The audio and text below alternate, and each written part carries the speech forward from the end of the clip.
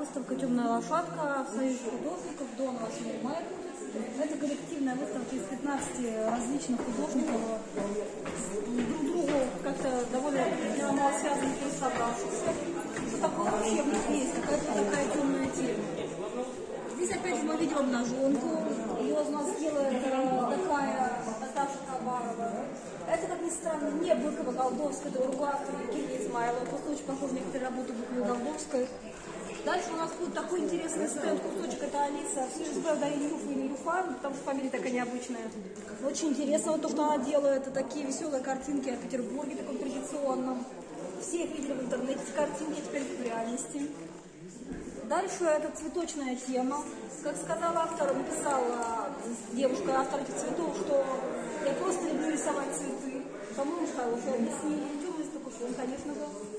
Опять Волошин по Грейсу, у нас символ по Грейсу, да, по мифологии, символ музы, да, вдохновения. И город здесь вдохновение чаще всего. Это серия Корида.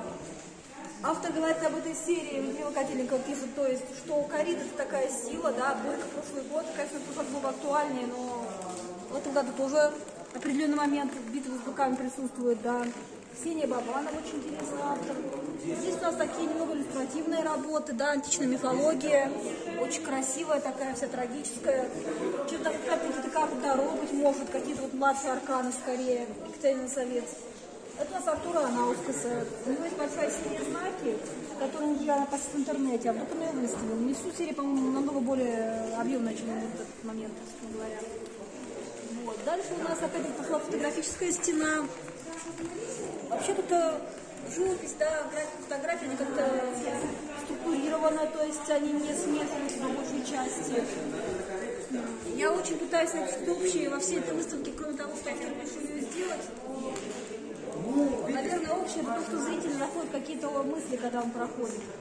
Потому что, в конце концов, здесь есть такой общий мотив какой-то оставленности, какой-то такой трагической телесности, или напротив ответственности комической. Просто там такой что-то на какой-то fashion, но fashion обычно такой яркий, цветной, а тут он такой черно-белый, и получается такой мотив страдания, люди-манекены. Вот какая-то такая мука, необходимость быть правильным. Мне очень нравится вот эта работа. Здесь как будто туда динозавр на автомобиле и такой символ краха цивилизации. Но я надеюсь, что цивилизация все-таки не пойдет от краха на крахом, а на всем лошадки, и белые лошадки будут скакать дальше в мироздание.